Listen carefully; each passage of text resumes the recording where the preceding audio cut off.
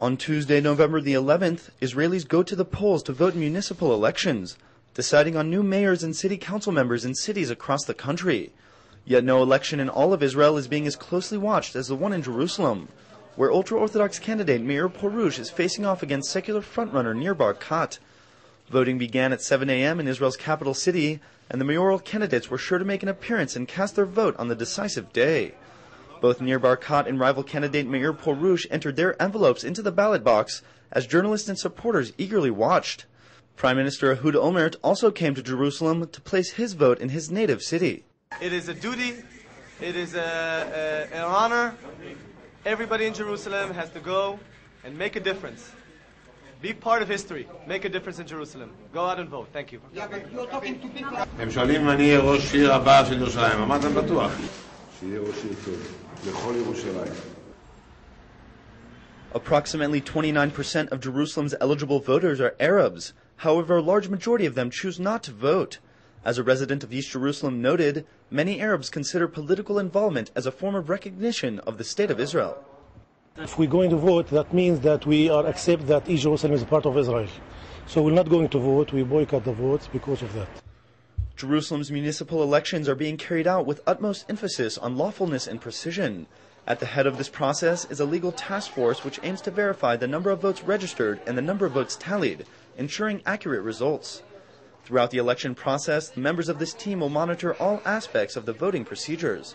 Info Live TV traveled to Jerusalem's election headquarters to speak with officials about the election results.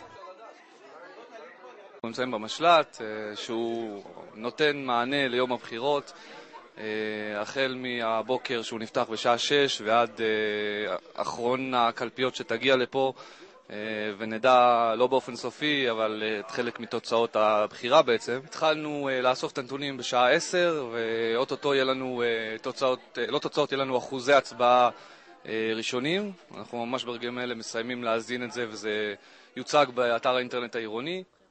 התפקיד שלנו זה לדאוג לכך שכל תהליך הבחירה שהתחיל בשבע בבוקר אה, והסתיים בעצם, אה, הקלפיות ייסגרו בשעה 22:00 בשעה 10 ולאחר מכן ספירת הקולות עד הבוקר, לרבות קולות חיילים שהספירה שלהם היא ב- ביום רביעי בצהריים.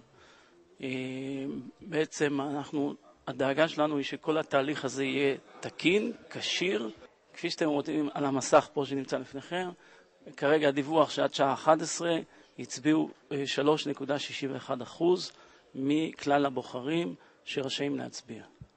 After voting in the morning, leading candidate Nir Barkat visited the Western Wall. Arriving to the holiest place in the Jewish religion, the politician donned a skullcap and began praying, perhaps for his own victory. Arkady Gaidamak, the distant third candidate in the Jerusalem mayoral race, also visited the sacred spot for a morning prayer. Equipped with a talit and tefillin, he prayed at the foot of the wall. Meanwhile, ultra-Orthodox candidate Meir Porush used Election Day as an opportunity to visit the various districts of the city to try and convince the remaining undecided voters that he was the right choice. The election results, which will be announced after 10 p.m. tonight, will mark a decisive moment for both the future of Jerusalem and the future of the Jewish state as a whole.